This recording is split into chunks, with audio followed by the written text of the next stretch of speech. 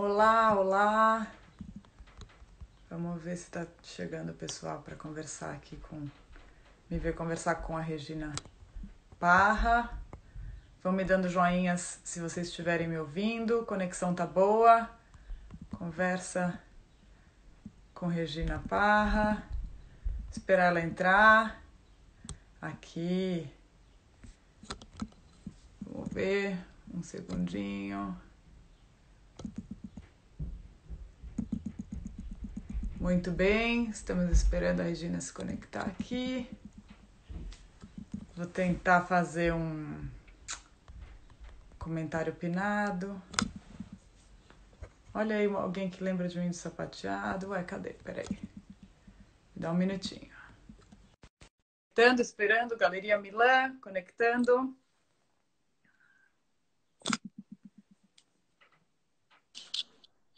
Oi, Todo mundo aí? Oi, Regina. tudo bom? Tudo e você? Tudo jóia. Obrigada, antes de mais nada, para a Galeria Milan pelo convite. É um prazer conversar com a Regina, um, Regina Parra. Eu vou tentar pinar o comentário aqui, nem sempre funciona. Conversa com a Regina Parra. É, nós duas estamos em um, Nova York, conectadas através do Brasil. Muito legal isso, né? Peraí, deixa eu ver se eu consigo. Ah, Pronto, consegui. E aí, um, todo mundo chegando. Uh, ontem eu conversei um pouquinho com a Regina para aquecer os nossos tamborins e foi maravilhoso conversar com ela. Em tempos de quarentena, qualquer tipo de conexão com alguém que não seja da sua família nuclear é, é muito especial. Vou apresentar a Regina. Regina, se eu pular algum, algum ponto importante, por favor, me interrompe e me corrige. É, você vem do background do teatro, né? Então você chegou a ser assistente de direção do Antunes Filho, isso nos anos 2000, comecinho dos anos 2000. Depois daí você foi morar no Rio de Janeiro, onde você estudou no Parque Lage. Do Parque Lage você foi para Paris estudar na Escola de Beaux-Arts. Voltou de Paris, caiu no curso mágico do Dude Maia Rosa, que eu também fiz. De lá você foi para a FAAP fazer artes plásticas, certo? da FAAP, mestrado na Santa Marcelina em História da Arte. E aí, depois até você foi dar aula na FAAP, né? Sim. É, uma das suas aulas era sobre como usar o corpo né, na sua produção artística, que tem tudo a ver com a sua prática, né? Certo? E aí, sobre as exposições que você já fez, né? Algumas das mais relevantes é, você já expôs no Jewish Museum aqui em Nova York, no MAN em São Paulo, no MASP, no Padiglione d'Arte Contemporânea em Milão, no SESC, no MAN de Recife, no Instituto Figueira de Ferraz, na Fundação Joaquim Nabuco. É um, um currículo maravilhoso. No Parque Lage, no Centro Cultural São Paulo. E, e o seu trabalho aqui, você também em Nova York fez a residência uh, RU, né, que é a Residency Unlimited em 2018. Em seguida, você fez a Annex B, né, que é outra residência uh, aqui em Nova York que, é, que foca em artistas brasileiros. E se o corona permitir, você tem mais uma residência vindo aí no Watermill Center, que é um centro do Robert Wilson uh, aqui na praia, né, em Nova York. E, e o seu trabalho de uma certa forma, né, reflete sobre o papel das personagens mulheres e como a mulher é retratada é, e percebida ao longo da história e na literatura, né? Então, acho que para todo mundo que está uh, ah, assistindo, seria legal você contar um pouco como, como começa um processo do seu trabalho. Tá. É... Começa sempre é, de um certo incômodo, uma certa que é uma sensação, mais do que uma coisa assim, é difícil para descrever, porque é claro que dependendo do trabalho isso, isso muda, mas é geralmente um incômodo, uma perturbação, alguma coisa que me, enfim, que me perturba e que me leva para o trabalho. E aí tem esse processo que é um processo longo e geralmente começa dessa dessa perturbação, a partir dessa perturbação eu tento entender quais são os autores. E aí, autores, eu vejo de tudo. Eu sou completamente. É, especialmente no começo da pesquisa, é bem amplo e é bem aberto. Então, eu vou tentar ler e me cercar de todo tipo de é, autor, ou texto, ou informação, ou imagem que possa, de alguma maneira, é, me ajudar a, a, entrar nesse, nessa perturbação que eu estou sentindo, nesse, nesse, nesse assunto que eu estou querendo entrar. Então, uhum. esse, esse é o começo. É... Aí, a partir disso, no começo, eu estou trabalhando com uma série de autores e eu tento não, não escolher um, eu continuo trabalhando com todos ao mesmo tempo. E aí, num dado momento, eu elejo um autor que vai ser meio um, digamos, um parceiro nessa conversa, um diálogo. E nos trabalhos mais recentes, eu tenho optado por trabalhar com textos teatrais. Então, eu acabo escolhendo um dramaturgo, alguém que vai ter um trabalho é, mais próximo ao teatro. Uhum. Aí, dessa peça, eu acabo escolhendo uma personagem feminina, claro, mas uma personagem que é, também vai mexer nesse meu incômodo, mas vai despertar outros incômodos que me interessam trazer. E, e aí, dessa personagem, eu tento criar uma série de movimentos ou gestos que seriam dessa personagem, mas que também conversam com o meu corpo ou com as coisas que eu estou vivendo agora. Então, é um processo meio de tradução, eu acho. Tradução de uma inquietação, tradução da inquietação para o autor, do autor para o gesto, enfim, vai, e aí por aí vai.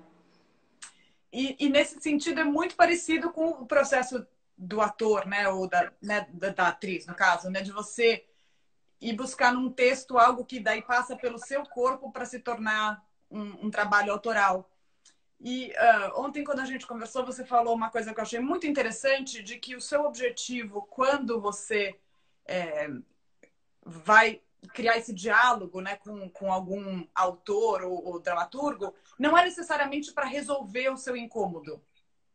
Né? Fala um pouco mais sobre isso, que eu achei muito interessante. Uhum. É, eu sei porque eu acho que se, se eu conseguir, no meio do caminho, é, no meio do processo, resolver esse incômodo, seria uma coisa linda.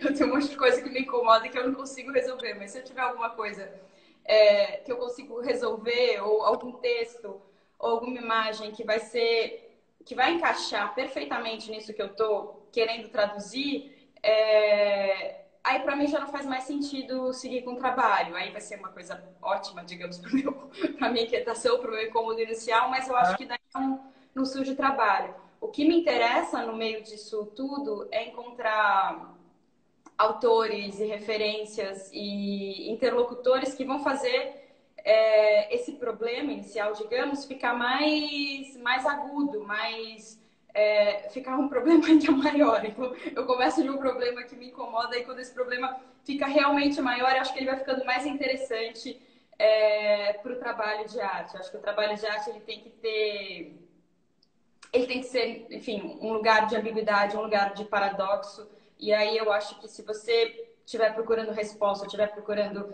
esclarecer alguma coisa, não, eu acho que o trabalho vai ser um trabalho raso, assim. Então eu acho que se eu encontrar uma resposta, eu perco, enfim, perco o, porquê de fazer o trabalho e, e, o trabalho eu acho que também vai ser meio, enfim, vai ser sem sentido, vai ser um trabalho raso, na minha opinião. É, é quase como se você, ao se aprofundar no tema, é, percebesse que, que tem mais perguntas para responder sobre a, a, sua inquietação, né, do que necessariamente um, um, um fim conclusivo, né?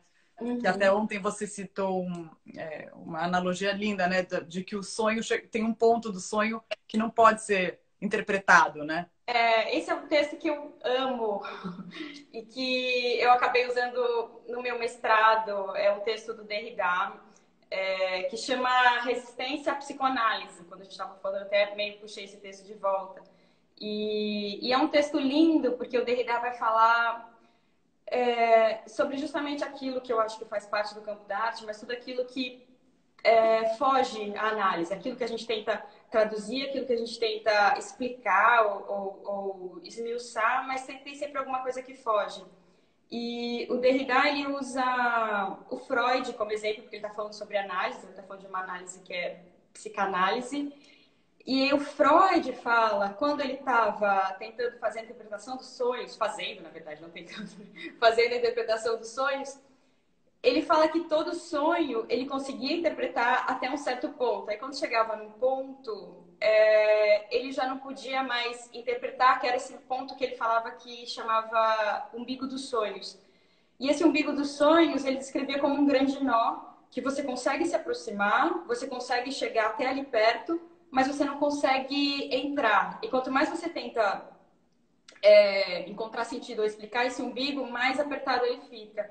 E ao mesmo tempo que esse umbigo é um nó que não vai ser desatado, ele dá sentido para todo o resto. Então, é, eu, e eu vejo muito o, o, o, lugar da arte como esse lugar, que é um lugar que, é, que se mantém resistente à análise. A gente consegue entrar ou se aproximar por diversos lugares e aí a gente consegue ter outros significados, mas eu acho que o sentido principal vai ser sempre esse nó que a gente não consegue decifrar. É, alguém está perguntando o nome do texto. O texto chama Resistência à, à Psicoanálise, né? Eu mandei para você ontem. Eu achava que era resistência... é. Mas é Resistência à Psicoanálise, é, do Jacques Derrida. É, e aí, outra coisa interessante, né? Você também disse que você trabalha de um jeito, até talvez seja legal é, a gente falar de algum trabalho específico para depois continuar falando do processo, mas você falou que você trabalha muito com essa ideia de deixar as ideias pairando, né? Então você começa essa pesquisa e elas ficam ali é, no ar e que não é tão conclusivo. Conta um, pouco, talvez, do seu trabalho um, com a Ofélia, tá. para contextualizar um pouco. É... O trabalho da Feli então, é uma história super longa. É... Deixa eu ver como começou. Bom, então, começou dessa sensação. Acho que vai ser um, é um exemplo bom para conseguir descrever o processo. É... Então, começou com essa sensação que eu estava vivendo, que eu entendia também como um, um contexto... É... Um contexto do momento que a gente está vivendo. Eu acho que o trabalho da Ofélia eu comecei a pensar em 2017, 2018, mas eu acho que agora ele continua, sei lá, essa inquietação continua uma inquietação importante, mas é, o que eu estava tentando traduzir ou, ou, ou, desenvolver era uma ideia de, é, do afogamento. Então, tudo começou com uma, com uma pesquisa sobre afogamento. É, e essa pesquisa sobre afogamento, na verdade, começou com um vídeo que eu vi é, numa outra pesquisa de um refugiado que estava se afogando no canal de Veneza. Uhum. E ele se afogava e, e, ninguém fazia nada. E tinha uma série de pessoas que estavam filmando com o celular e depois esses, esses, esses vídeos dos celulares foram para a internet, mas ninguém fazia nada. E, e o que, a, que, as pessoas falavam é que eles, ninguém fez nada porque ele estava tentando se matar. Então era, sei lá, era uma coisa que ele poderia, teria o direito de se matar e ninguém ia fazer nada. É, eu vi esse vídeo, obviamente, é um vídeo horrível de se ver, e eu fiquei muito tocada pela história e pelo fato de ninguém fazer nada, e, enfim. E aí eu comecei a pesquisar sobre o afogamento. E, e uma das coisas que é, eu pesquisei no afogamento, é, existe um teórico que chama Francesco Pia, e ele é um PhD em salvamento, e nesse tipo de coisa.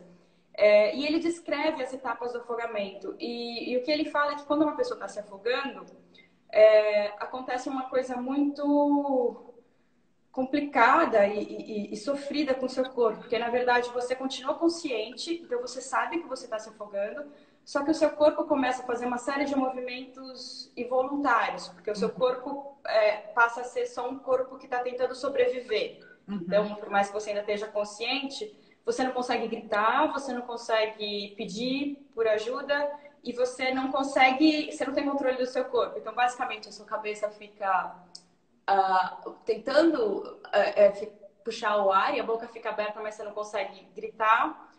As suas pernas ficam paralisadas para evitar gastar energia e o seu braço fica fazendo um movimento assim, como se você tentasse empurrar água, mas também que é um movimento completamente impotente. Uhum. É, e se alguém te dá um te dá a mão ou te dá alguma coisa para segurar, é, você também não consegue segurar, por mais que você queira, porque você não tem controle do seu corpo. Então é uma situação desesperadora que dura é, até um minuto e depois de um minuto você simplesmente submerge se ninguém te, te puxar da água. Uhum. É, e aí, enfim, eu fiquei mais perturbada ainda quando eu é, é, li essa descrição toda do que acontece com o corpo e, e fiquei pensando em possibilidades de afogamento. É, claro que o afogamento em si é uma questão real e física, mas eu fiquei pensando que em uma série de afogamentos existenciais quase que a gente vive, que você de certa forma está consciente, mas o corpo já está fazendo um movimento que você não tem muito controle é,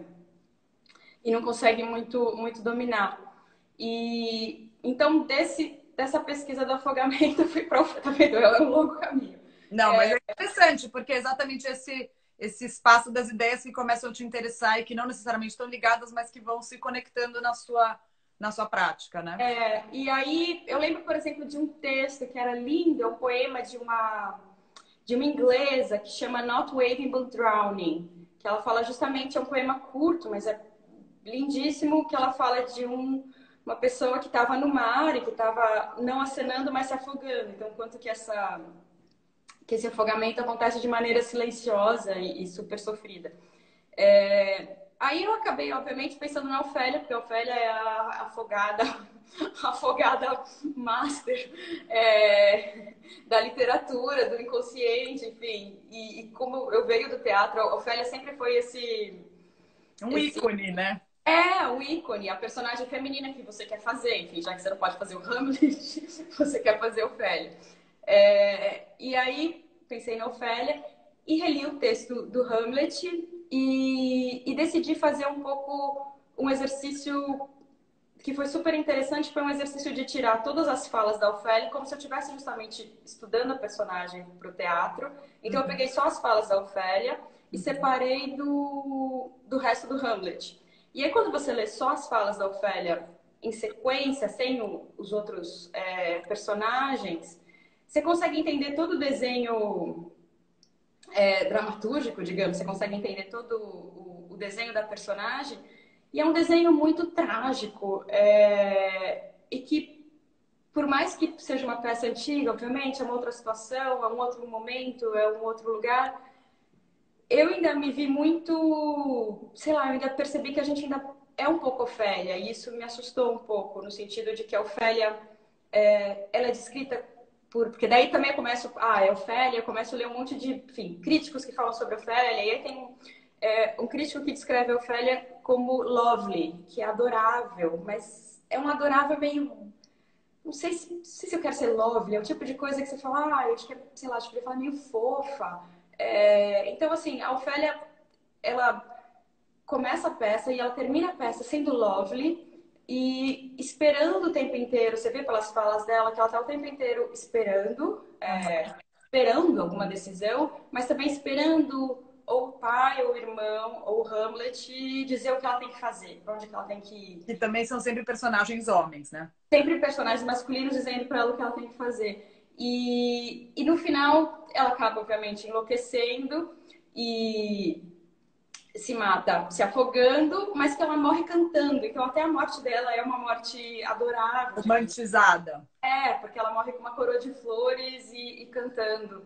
É... Então, aí, enfim, com tudo isso eu fiquei muito. É... É, é enfim, fiquei obcecada pela Ofélia. E, e aí, é, nesse mesmo momento, eu comecei a conversar com, com o Jacopo, que estava preparando essa exposição para Milão. Uhum. E, Ah, bom, antes disso eu chamei a Ana também. Ana Mazei é uma grande amiga minha, artista. E, e eu comentei com ela sobre esse texto da Ofélia, eu falei que eu estava pensando em fazer alguma coisa, e a gente já começou meio a juntar forças. E, e aí a gente pensou a performance para esse para essa exposição do Jacopo. O Jacopo foi super foi super aberto porque a gente não tinha ainda nada muito pensado. Eu lembro que o rascunho que eu tinha era um rascunho muito de, assim, ah, eu lembro que eu mostrei pra ele, ah, é isso aqui que eu tenho. Tô pensando nisso, mas eu não tenho muita certeza. E ele falou, vamos lá. É, e, a, e acabou rolando. Então, no final, o que a gente fez pro trabalho? Eu acabei me perdendo aqui. A gente pegou, das, dessa série de falas da Ofélia, a gente escolheu nove falas. É, e dessas nove falas, a gente fez uma estrutura é, como se fosse enfim, uma, uma placa de manifestação. A gente pensou nessa ideia de uma manifestação silenciosa de nove mulheres segurando essas falas. É, e de alguma maneira sabendo que essas mulheres estão numa manifestação, ou seja, elas estão tentando é, requerer alguma coisa, buscando alguma coisa, mas ao mesmo tempo a gente sabe que existe uma série de limitações que vão segurar essa vontade esse de desejo. transformação, né? É, exatamente. Então, na prática, o que acontece é a gente sempre muda a disposição, é uma performance, a gente muda a disposição da performance de acordo com o espaço expositivo. E, e elas fazem movimentos repetitivos, mas elas não vão para lugar nenhum, assim, é um pouco afetivo. Parece um mecanismo que não, não encaixa. E elas vão e voltam segurando essas placas é, com as falas. Eu tenho uma placa aqui só para mostrar. Ah, seria legal. Mas a, a, placa sem a estrutura, a estrutura tá lá em cima, eu posso mostrar a estrutura. Essa daqui é, uma, é, é, a versão em inglês, porque a gente ia mostrar aqui antes da, da epidemia toda, a gente ia fazer a apresentação aqui. Fica ao contrário o texto. Então, but truly I do fear it. Em é. português, é, tenho medo sim. Tenho medo que sim, exatamente. Tenho medo que sim. É, tenho medo que sim. Alguém está perguntando se era o que estava no MASP. Era o que estava no MASP, sim. A gente fez é, a performance na, na abertura da exposição de histórias feministas no MASP e, e depois um outro sábado também. E, e aí o MASP acabou adquirindo o trabalho e a gente está tentando agora, quando tudo voltar, é, quando tudo voltar ao normal, a gente quer é, fazer outras performances lá no MASP. E, e, a ideia deles, que a gente adorou, é fazer a performance com com o próprio staff do museu. Então, ao invés de ter performers é, contratadas para fazer isso, o próprio staff do museu em algum momento vai, enfim, pegar as placas e, e ativar o trabalho. Então, isso é uma coisa que a gente está querendo fazer. E para quem não viu a performance, obviamente tem no site da Regina e no site da Milan, tem fotos, mas todas as mulheres estão vestidas de camisa, com uma camiseta branca, né? As estruturas que seguram, né, que a Ana Mazei fez com você, são de uhum. madeira. E elas são uma mistura de. Desse, você falou, né, desse porta stand-up. É, é, tem uma estrutura, como se fosse segurar a placa, mas às vezes elas também ficam meio em volta do, do, do corpo, né? Elas vão um pouco além de só uma placa, né? É, é, exatamente. Elas são peças escultóricas e é interessante porque quando a gente pensou esse trabalho, na verdade a Ana desenhou.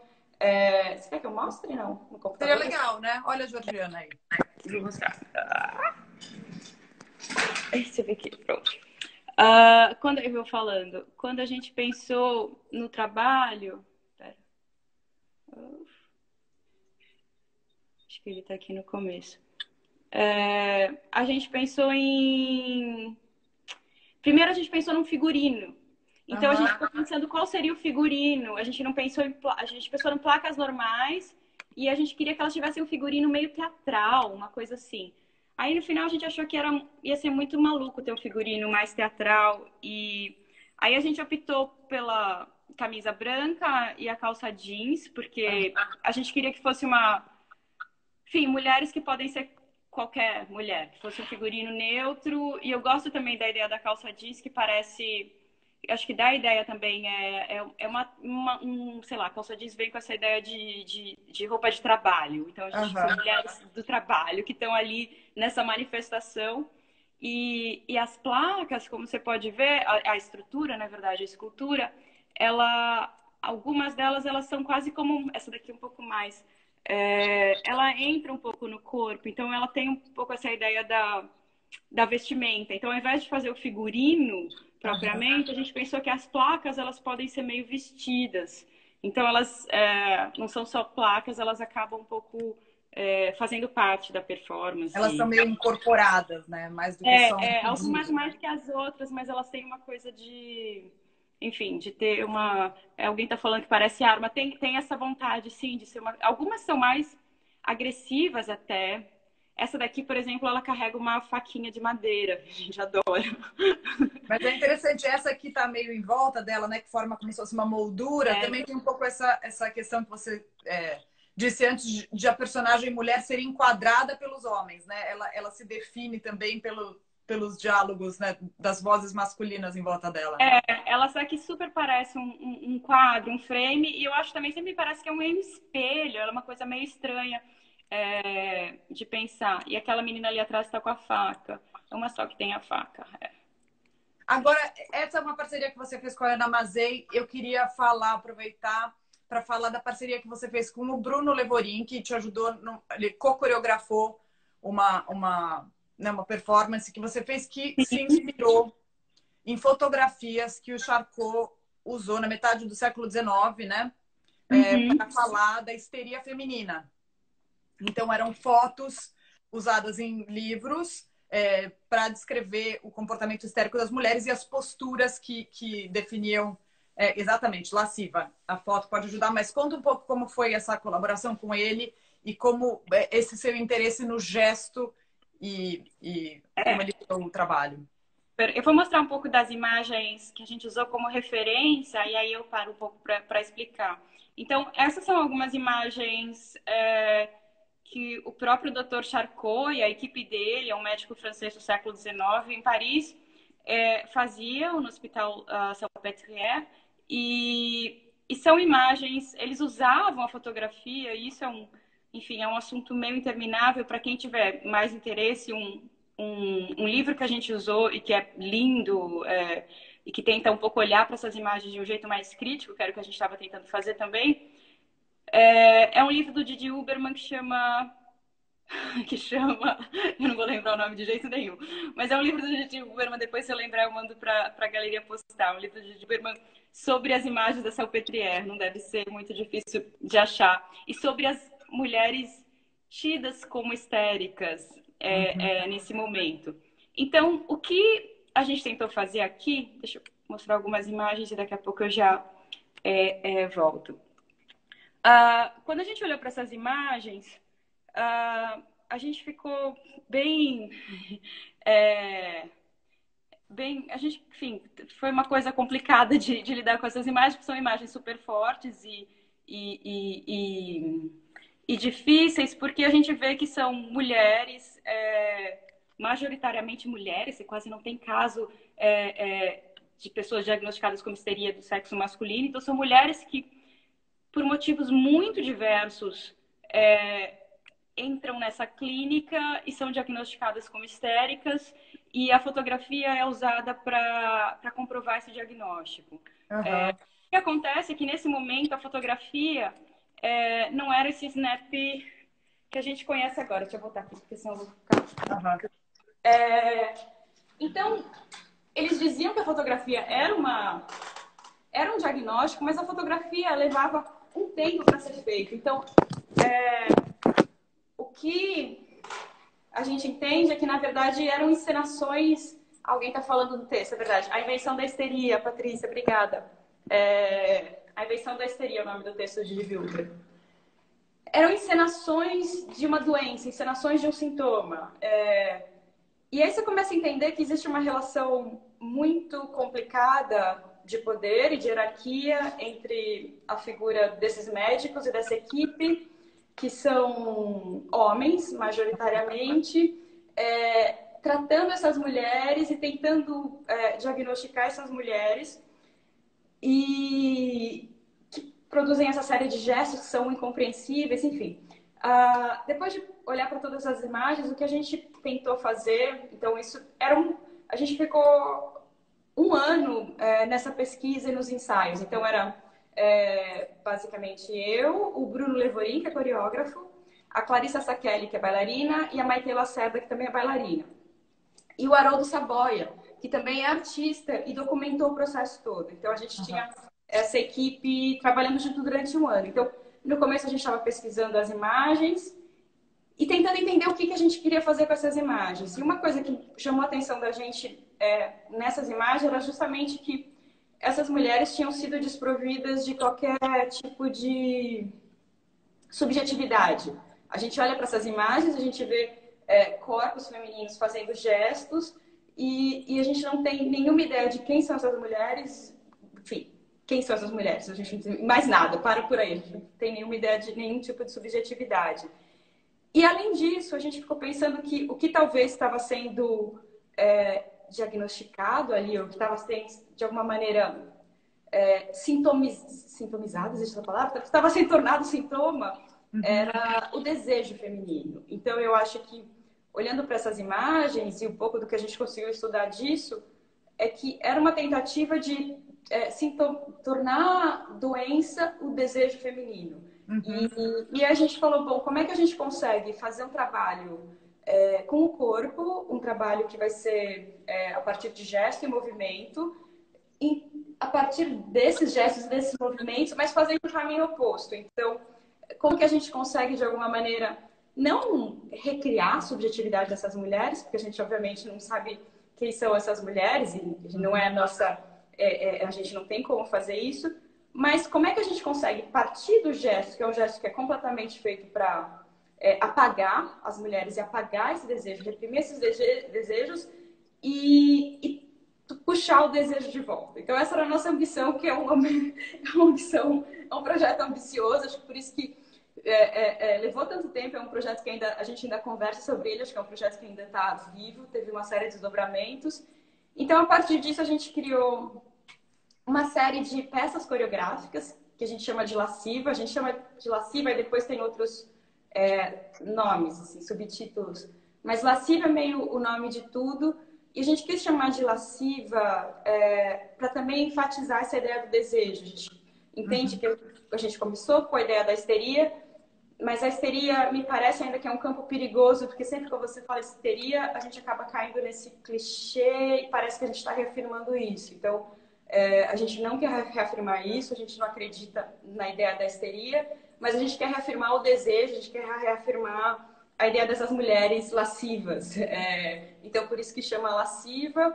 E, enfim, a gente fez essas peças coreográficas e também um vídeo que eu mostrei na, na exposição da, da Milano ano passado.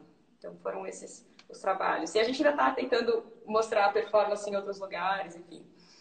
Isso que você falou é muito interessante, né? Essa ideia de que você quer tratar do tema da histeria, mas ao mesmo tempo sem confirmar a histeria, né? Porque a partir do momento em que você resolve que esse é seu tema, como é que você faz para você não ser mais uma colaboradora dessa ideia, né? De que o, o desejo da mulher se torna o, a, a, histeria, né? Então, é muito interessante até essa ideia de que o trabalho continua aberto, é quase como se você, né, a, a sua prática fosse, na verdade, olhar por outros ângulos aquela, aquela ideia que é apresentada originalmente tomada como uma espécie de, de fato, né, pelo, pelo Charcot.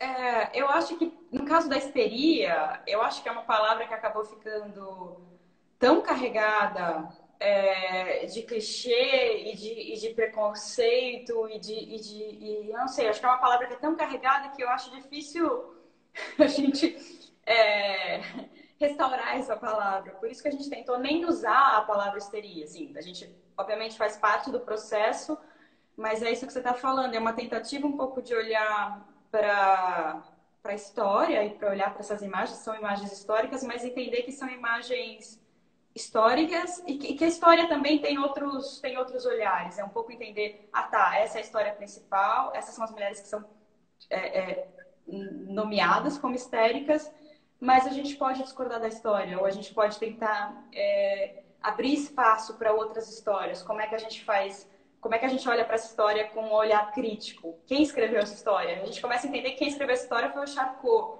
é, que era um homem em Paris, no século XIX. E aí você começa a entender que a história não é neutra, nunca é neutra. Foi escrita por alguém e, e mesmo que a gente não esteja mais no século XIX, essa história ainda afeta a gente. A gente tem como, como eu acho, não reescrever, mas a gente tem como pelo menos olhar de um jeito mais crítico e não reafirmar, reafirmar aquilo. Essa ideia também é quase dar uma segunda chance, ou várias chances, né, para essas no caso do Charcot, né, dessa paciente, ou no caso das histórias, né, da, da Ofélia, dá para essa personagem uma segunda chance de mostrar as outras facetas. E é, isso me lembra a, a, Winnie, a personagem do Beckett, que, que inclusive é, você, você disse que o Beckett tem pouquíssimas personagens mulheres, né?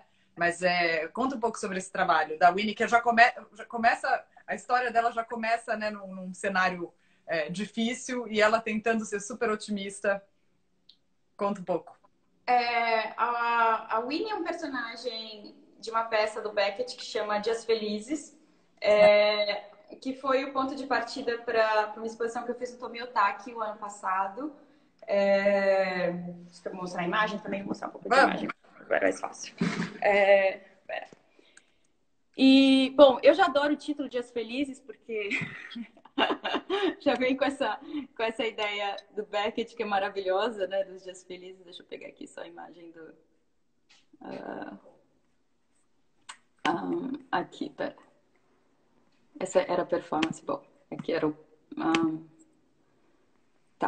É, então, é, então, eu parti dessa, desse, desse texto do Beckett do Dias Felizes, e aí esse texto acabou gerando uma série de trabalhos, é, todos em volta desse texto. Então, esse neon, por exemplo, era um neon que estava logo na entrada do Instituto. Ele é grande, ele é grande de propósito, é uma ideia dele ser tão grande que ele é quase opressor, por isso que ele é vermelho, e quando você tá ali, sei lá, você é meio esse tamanhozinho assim, e, você vê esse neon mais um dia na tua cabeça. E mais um dia, para mim, pode ser é, uma ideia de expectativa, ah, é mais um dia, talvez um dia lindo, mas também é mais um dia, parece um pouco quase como um fardo, de você ter que atravessar mais um dia, ter que aguentar mais um dia, um pouco, pode ser um pouco horroroso. É, e esse neon veio justamente da fala da Winnie. A Winnie começa o texto do, do Beckett falando Another Heavenly Day, que é mais um dia celestial. É, e ela começa essa peça, ela está enterrada no começo da peça da cintura para baixo, e ela uhum. começa uhum. falando mais um dia celestial, e ela começa a falar sobre todas as coisas, e ela passa batom, e ela pega a bolsa dela, só que ela está enterrada a peça inteira. No segundo ato, ela aparece enterrada do pescoço para baixo, e aí ela está carregando uma arma na mão, e, uhum. e continua falando sobre as coisas da vida e tudo mais, e ela conversa com é, com o parceiro dela e o parceiro dela tá meio surdo. Então, enfim, é um lugar bem desencontrado é, de um de, enfim, acho que de uma situação onde você não tem mais por onde se segurar e você começa um pouco quase, é quase, é quase um texto alucinado, por isso que eu gosto dele, assim, mais um dia celestial e tá tudo horrível. É um otimismo patológico, né? É, exatamente, é uma coisa, é um, é um certo desespero, aquele riso desesperado que a gente tem quando a situação tá muito ruim, e que eu acho que é, eu me identifico, então, é, então isso acabou é, é, é sendo ponto de partida para para esses trabalhos, aqui acho que dá um pouco para ver como o trabalho foi montado. É, tinha uma série de pinturas, que eram essas daqui, Ups. e aí também tinha esses outros dois neons, que também são frases do, do, desse texto do Beckett. Nada de dor, quase nada. Isso é uma frase dela, da Winnie, então nada de dor, quase nada. Tá tudo ótimo. É, nem pior, nem melhor na mesma. E, e além disso, a gente tinha o, essa performance, que também foi uma performance, é a Clarissa e a Maitê, as mesmas duas bailarinas, e o Bruno também é, foi um parceiro nessa, no desenvolvimento dessa performance. Eu não sei se dá para ver, mas ela tá. A, ela ficava com o pescoço amarrado na parede. Uhum. Então, ela ficava olhando para a parede com o pescoço amarrado. A gente queria um pouco que tivesse essa ideia de mobilização. E ela, uma delas ficava falando só mais um dia celestial, mais um dia celestial, e a outra falava algumas outras falas da, da peça. Então você tinha essas duas é, é, personagens olhando para a parede, presas no pescoço e, e, falando algumas das falas da peça. Então esse, e essa performance chamava Winner, um pouco a ideia da de entender essa, essa personagem no. É verdade, alguém falou aqui que é, é, bem quarentena, né? Você tá preso tentando pensar no lado bom. É. Não, você tá enterrado falando mais um dia celestial. É, e uma coisa interessante, né? Você, no fim, a gente acabou falando das performances e da, da coreografia, é, mas tem muito. O seu trabalho de pintura é muito forte. Geralmente pinturas acompanham, né? É, geralmente pintura olha sobre papel é, com esses gestos que é você mesma incorporando, né? A maioria das vezes, esses próprios uhum. gestos dessas personagens ou dessas mulheres. Você tem uma pintura para mostrar para gente aí no seu ateliê? Fresquinha? eu tenho. É, eu tenho duas aqui, peraí. Olha, é... Oi, Lenora. A Lenora. Oi, Lenora. É, essa daqui, na verdade, é uma natureza morta. Eu ainda tô... É, ainda preciso trabalhar, ainda está meio no meio do processo. Uh, essa daqui eu não sei se a luz tá boa aqui. Peraí. Deixa eu vir daqui. Eu coloquei ela aqui, na verdade, para não sei se dá para ver. Essa aqui é mais recente.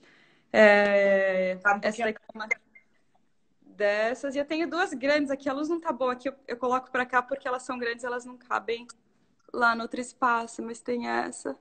E essa. Essas daqui tem legenda. Essa legenda também é uma coisa que eu acabo usando para. Enfim, a gente falou dessa relação com, a, é, com texto. Então, essa daqui, que não sei se dá para ver muito bem, tem a legenda A Rocha Gelada. Uhum. E ela é parceira. parceira. ela é parceira com essa daqui, que é a Vertigem. É, então é o, a rocha gelada e a vertigem, eu acho que uma meio vai com a outra, assim. É, enfim, não dá muito para ver. Elas são grandes aqui, eu tô com é, pouco espaço para recuo. Essa daqui que é a menor. Ah, eu tenho mais uma outra aqui. E é interessante, né? Essa coisa do corpo e do texto, mesmo na pintura, acabam tendo a ver com, com o seu passado no mundo do teatro, né? É... é, é, isso eu não tenho muito como. Eu percebi, isso é uma coisa que eu percebi que é, eu acho que a gente vai ficando mais, mais velha e vai percebendo que. Ai, que eu não consigo nem colocar o celular é, vai percebendo que não adianta muito muito fugir da gente, no sentido de que, é, mesmo quando estava fazendo pintura, eu sempre tinha um monte de texto no ateliê pendurado e coisas que eu estou escrevendo e, e, coisas que eu quero fazer. E... Mas aí no final é, eu achava que a pintura é pintura e o texto é texto, então o texto era meio um processo, né? Aquela coisa meio backstage, é o processo. E aí eu tentava, é, às vezes, usar o texto como nome da pintura, tentava o texto meio.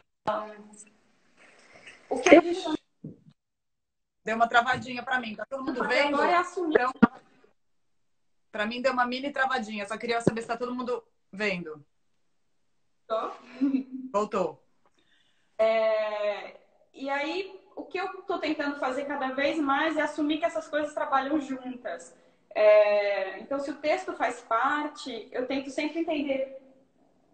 Ele funciona como legenda? Ele não funciona como legenda? Será que ele é tipo isso? Ah, é uma placa? O que eu tenho feito em alguns casos é, é uma pintura que é quase uma placa, mas que vai junto com a pintura. Tudo Ou... se mistura, né? Tentando misturar, é, tentando integrar mais, porque o meu processo ele acontece junto. E aí eu acho que não é, não é justo ele separar. Eu acho que é uma coisa, é, enfim, é uma coisa careta minha que eu tô tentando trabalhar. E uhum. especialmente uma coisa que eu quero fazer agora é misturar também um pouco mais os meus trabalhos em neon, porque mesmo quando eu faço junto na exposição, ainda assim é uma parede em neon, é uma parede a pintura. A performance eu acho que acaba acaba entrando um pouco mais, mas acaba um pouco unindo isso tudo. Mas eu quero pensar agora, é uma coisa que eu estou pensando em projetos, aproveitando a quarentena para pensar em projetos bem ambiciosos e uhum. é, eu estou querendo pensar num trabalho mais mais amplo em que eu consiga ter o, o, o neon espaço junto com as pinturas e interferindo nas pinturas, porque o neon interfere porque muda a luz, muda tudo, entendendo que e o neon é texto, né? Entendendo que esse texto vai ser também matéria, é, enfim, ver como é que eles conseguem conviver, se eles conseguem conviver, enfim, é uma coisa que eu tô, tô querendo fazer. Olha, duas coisas. Primeiro, alguém perguntou para saber mais sobre o trabalho dela. É, entre em contato com a Galeria Milan. Esse Instagram que tá, a gente está conversando é da Galeria Milan. Galeria Milan, se quiser dar um joinha, bom, a gente está usando agora, né? Mas enfim, é só seguir o Instagram para mais informação. E a Flávia Calduro falando que fez aula de teatro com você, Ancélia Helena. Ah, que amor, gente. Sobre o neon, conta um pouco, porque ontem você falou por que, que você gosta do neon. Daí a gente é, é... Tá. mas me conta. É... Então, o neon, eu acho que. Eu, eu andei pensando bastante é... no meu trabalho ultimamente, porque acho que quarentena a gente fica com tempo para pensar na vida. E, e no começo é, é, desse período maluco, eu fiquei bem eu não consegui, sei lá, tinha muita gente falando que, ah, eu tô super produzindo, vou ter tempo para produzir. Eu não consegui produzir, eu, ficava, eu fiquei numa crise absoluta, eu ainda tô em crise, é, mas eu não tô paralisada. Mas no começo eu fiquei numa crise de, de paralisia, porque eu acho que, é, não sei, o que a gente tá vivendo é muito complicado, muito difícil. E, enfim, e aí eu comecei a repensar tudo, tudo. É, o que eu estava fazendo, o que eu fiz, para onde eu vou, para onde eu não vou. é, que tipo de trabalho de arte a gente está fazendo. E porque qualquer trabalho de arte me parece hoje muito frágil diante do que a gente está vivendo. Eu acho que, enfim. É, mas é uma outra, uma outra conversa. Mas eu, aí eu comecei a olhar para os meus trabalhos anteriores, desde, desde que eu comecei a produzir. É, e uma coisa que me, me parece recorrente no meu trabalho, e eu acho que tem muito a ver com o trabalho que eu faço em Neon, eu acho que eu sempre acabo trabalhando nesse lugar que é um lugar meio de uma do desejo, é, do desejo como desejo, uma vontade, a vertigem, mas ao mesmo tempo a fragilidade desse desejo ou é, a possibilidade de que isso vai, vai desmantelar a qualquer momento. Então é um pouco é, querer acreditar, mas ao mesmo tempo saber que a, que a realidade talvez vá acabar com aquilo. E o neon me parece exemplar para isso, porque o neon é essa peça linda, eu acho o neon lindo. É, e aqui, agora que eu estou passando tempo em Nova York, a gente tem um monte de neon para todo lado, para loja de unha, é, tudo tarô, neon, né? Leitura de tarô. Leitura de tarô, exatamente. Eu, estou com pizzaria, todos os neons mais lindos do mundo estão aqui. E estão aqui não por acaso também, porque a gente está em Nova York, a gente está nos Estados Unidos, é, é, capitalismo pesado aqui e o neon faz parte disso. Então eu acho que o neon ele é lindo, ele brilha porque ele, ele é a criação do desejo, no caso desejo vinculado ao consumo, né? Venha comer essa pizza, venha fazer essa unha, venha, é, venha, venha, venha. Então, é, mas ao mesmo tempo ele é, ele é meio tosco, ele é kit, ele não é tanto que eu acho que no Brasil a gente deixou de usar, porque ele ficou meio cafona. Acho que no Brasil é, a gente vê neon no, em sex shop, igreja, eu já vi, eu já vi é, a cruz da igreja de neon, e farmácia às vezes, e floricultura às vezes. Eu adoro quando eu vejo ainda uma floricultura que tem um neon. Aqui ainda tem mais, mas no Brasil acho que ficou mais brega do que aqui. É, mas eu gosto desse caráter brega e eu gosto então que o neon ele tem esse brilho, mas ele parece uma coisa muito corriqueira. E eu gosto que o trabalho, quando eu faço um trabalho em neon, ele parece. Ele não parece trabalho de arte. Eu gosto dessa ideia de que ele está meio na cidade ou ele está no meio do mato e ele pode. Não precisa ser trabalho de arte. Ele, ele tá ali. Ele não precisa. E ele tem uma certa fragilidade, né? Talvez uma letra vai queimar, né? Ele Super. é fácil de quebrar. Super, ele, ele, pode, ele pode, ele pode queimar, as coisas, as coisas acontecem. Então, é, eu sempre gostei dessa ideia do neon e quando eu decidi fazer o primeiro trabalho em neon, era um trabalho que tinha a ver com, com, essa, com, esse, com essa ideia do desejo e a fragilidade do desejo. Então, como pensar numa frase, geralmente né, eu sempre trabalho com, com frases, com textos é, meus ou textos apropriados, e, e, que, e que fazem meio que o sentido contrário do neon comercial que a gente vê. Então, ao invés de oferecer um desejo claro, quando você vai ler o, o que os meus trabalhos de neon trazem, eles te colocam meio num lugar um pouco paradoxal. Então você não. Uhum. É, é, preciso continuar, não posso continuar, é preciso continuar, vou continuar. Aí você fica, mas é para continuar, não é para continuar. Então a ideia é um pouco. É, ele parece uma coisa que vai te vender uma coisa fácil, mas aí quando você vê a resposta não é tão fácil e te coloca em xeque, pelo menos essa é a minha intenção, é, do que vender alguma coisa mais pronta, assim.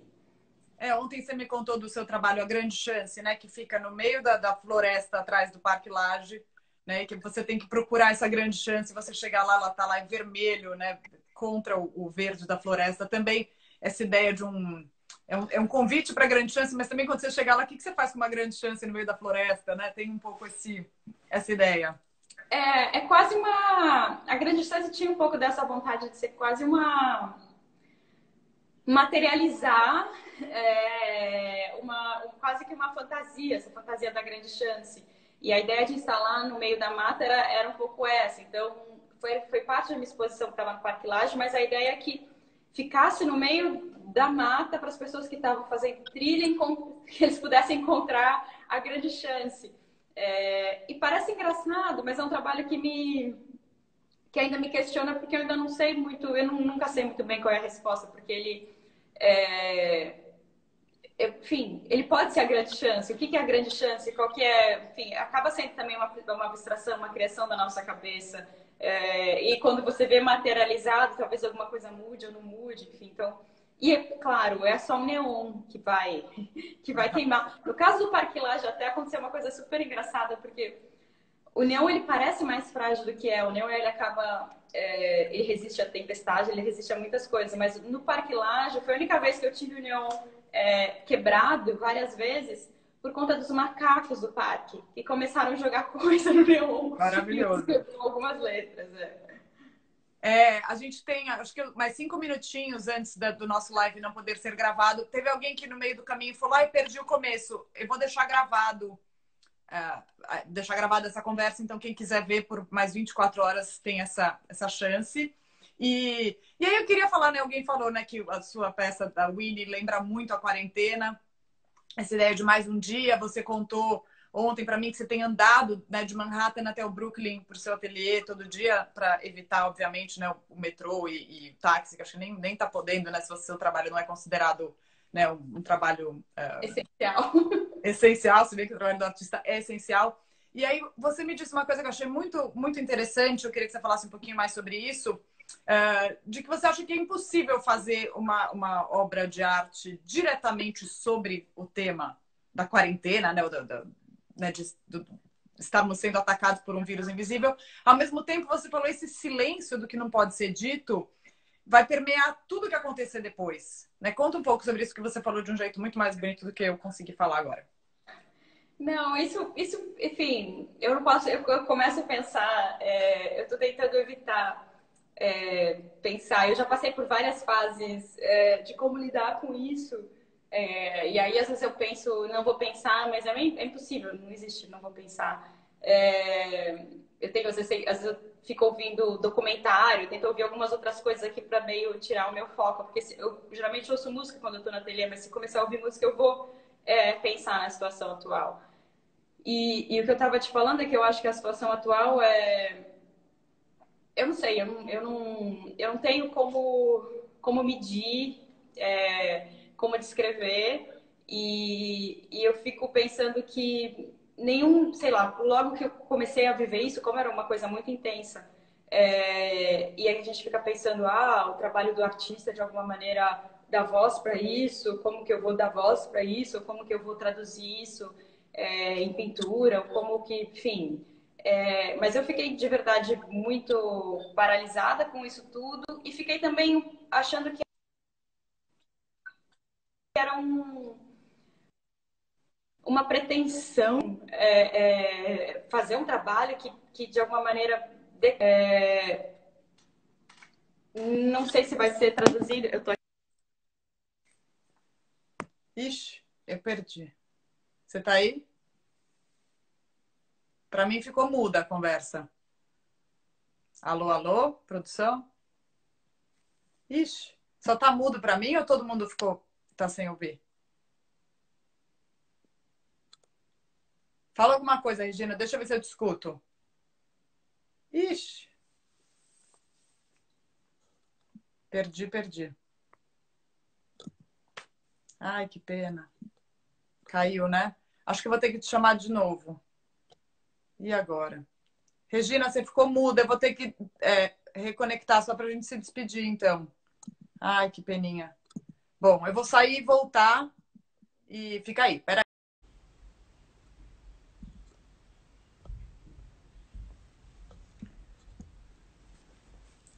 Cadê? Vamos ver se a Regina volta com fala agora. Me dê um minutinho. Obrigada pela paciência, pessoal. Hoje em dia os encontros são assim, dependem da do Instagram e da internet. Olha que povo mais simpático que voltou depois dessa desconexão radical. Voltei? Voltou, Eba, que bom. Tava tão triste, eu falei, nossa, era a melhor parte. Mas obrigada para todo mundo que voltou aí para ver o finalzinho da conversa.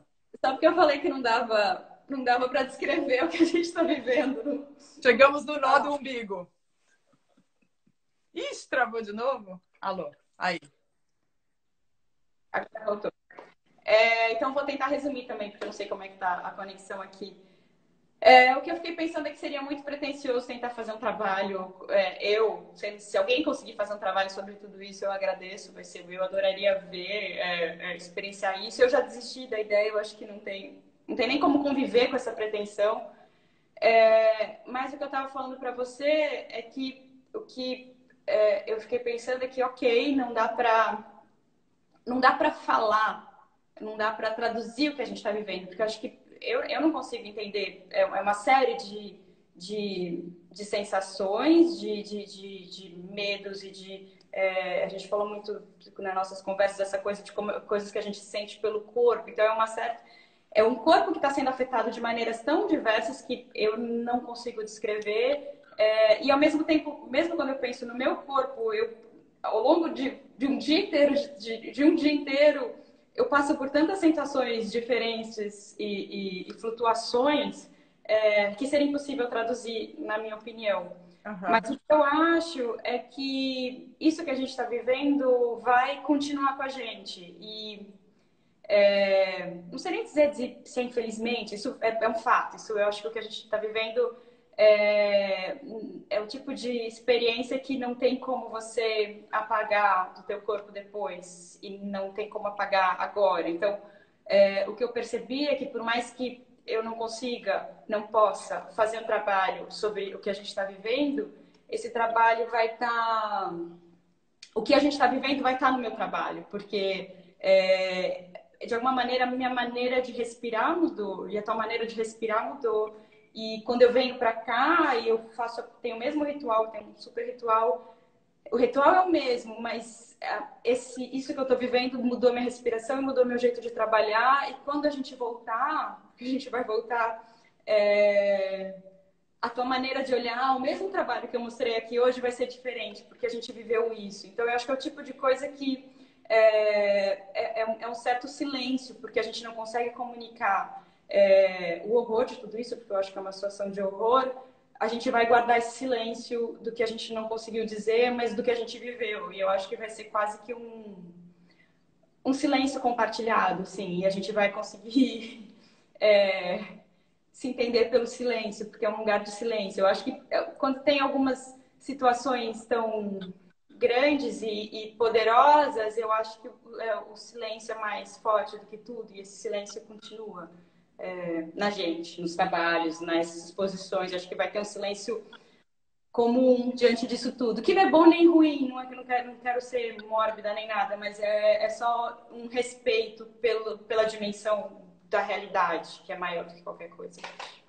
E você falou ontem também que eu achei é, interessante, né, que o sintoma de um certo pânico, de uma ansiedade, que é né, uma falta de ar ou uma sensação né, de que, como você falou, o jeito que a gente respira mudou, né? Uhum. Um, e, e, e, isso em relação ao, aos sintomas do vírus, né? Então, é, tem mesmo uma, um, um, silêncio, né? Algo que não, que não dá para explicar. É, quando a gente está conversando, não dá para falar oi e mandar beijo para todo mundo que, que assistiu com paciência a nossa conversa, mas eu queria agradecer, dar um beijo no coração, ou sei lá, uma cotovelada não pode mais beijar, né? Mas algum, algum carinho é, para todo mundo que, que assistiu, ouviu é, ajudou a responder as perguntas, procurou nome de livro. E hum, o trabalho da Regina, assim como a pesquisa dela, é, é pode ser para sempre admirado com, com, olhares diferentes, né? Então, tem muito para descobrir ainda na sua produção. Eu, eu, cada vez mais, cada vez que olho um, um trabalho, eu aprendo uma coisa nova e foi maravilhoso poder conversar com você. Obrigada de novo, Galeria Milan. Qualquer informação que alguém quiser sobre o trabalho da Regina é só é, mandar mensagem para a Galeria Milan com dois L's no Instagram. E é isso aí. Quer falar um tchau geral, Regina? Ah, tchau, obrigada. Beijo para todo mundo. É, obrigada, Gisela. Adorei a conversa. É, eu espero daqui a pouco a gente poder abraçar todo mundo. Um beijo para minha mãe. Ai, que fofinha sua mãe assistindo. Não, é isso aí. Eu não vejo a hora de fazer uma visita é, ao vivo no seu ateliê. Tá bom? Sim. E vou deixar gravado. Eu gravei a nossa primeira conversa que acabou é, de forma abrupta, mas eu vou gravar essa também, então vou ficar tá duas lives separadas. E, e é isso aí. Muito obrigada, gente, e até a próxima. Obrigada, beijo.